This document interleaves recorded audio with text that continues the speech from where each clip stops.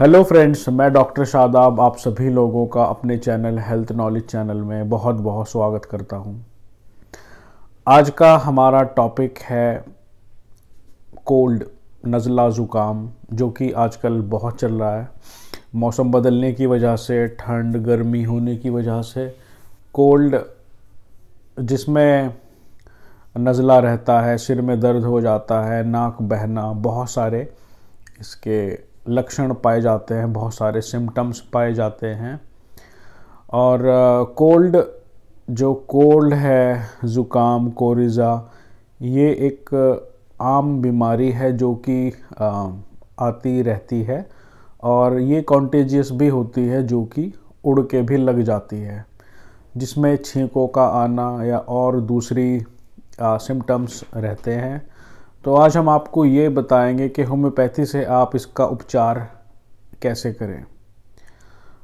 तो एक वायरल होता है जिसमें बुखार भी हो जाता है, नज़ला, ज़ुकाम, बहुत सारे अलग अलग तरह के लक्षण दिखाई देते हैं। कॉमन लक्षण ये होता है कोल्ड में सिर में दर्द रहता है, सर्दी लगती है, छींकें आती हैं और भूख भी कम हो जाती है। तो चलिए मैं आपको बताता हूँ, होम्योपैथी में एक दवाई है जिसका नाम है एलियम सीपा। एलियम सीपा एक ऐसी दवाई है जो किसी भी तरह का कोल्ड, कोरिज़ा, नज़ला, ज़ुकाम हो, उसमें आपको ये बहुत जल्दी इफ़ेक्टिवली राहत देता है और ये दवाई एलियम सीपा प्याज से बनाई जाती है, जो हम अपने डोमेस्टिक यूज़ में एक अनियन जिसको हम कहते हैं, प्याज उससे ये दवाई बनाई जाती है। और कोल्ड की एक और दवाई है जिसको हम एकोनाइट नेपलस भी कहते हैं।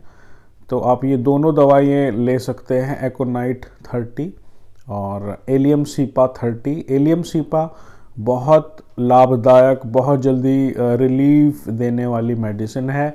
आप एलियम सीपा को पाँच बूंदे दिन में तीन बार आप जीप पे डालेंगे।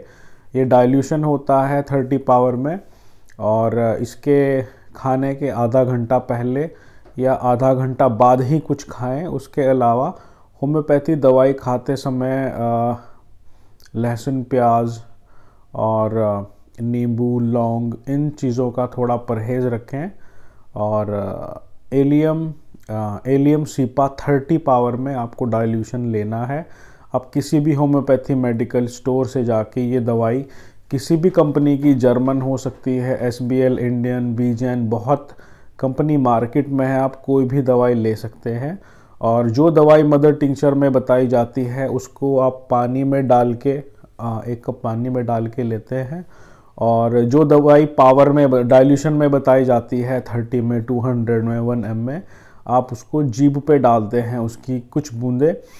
तो चलिए फ्रेंड्स आज के लिए इतना ही और जाते हुए फिर आपसे ये रिक्वेस्ट है कि आप हमारे चैनल को शेयर करें सब्सक्राइब करें और उसके अलावा कमेंट करें और अगर आप कोई फीडबैक देना चाहते हैं, कोई और आपका पर्सनल सवाल है तो आप हमें मेल भी कर सकते हैं नंबर भी दिया हुआ है व्हाट्सएप पे, आप रिपोर्ट या कुछ भी आपका ब्लड रिपोर्ट है एमआरआई है सीटी स्कैन है कोई भी आप हमें उस पर भेज सकते हैं और बात कर सकते हैं। तो चलिए thank you so much for listening thank you bye जय हिंद